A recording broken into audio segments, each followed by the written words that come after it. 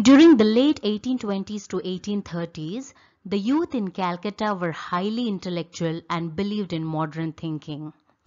During this time, a young Anglo-Indian named Henry Louis Vivian Derozio, born on April 18, 1809 in Calcutta to an Indian father and an English mother.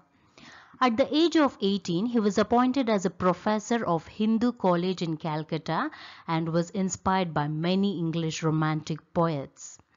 When he started debate competitions and discussions among the students on topics like God, science, religion, history and many others, his students got attracted to his knowledge and very soon he had many student followers who started to support his broad thinking.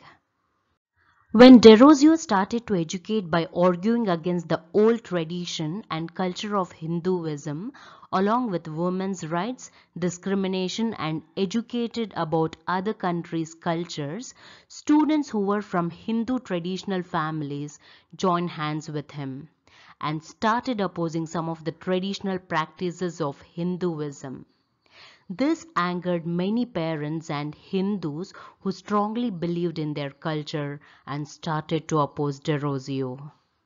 Finally, he was forced to resign in 1831 by the directors of Hindu College. He died at a very young age of 22 in the same year due to cholera.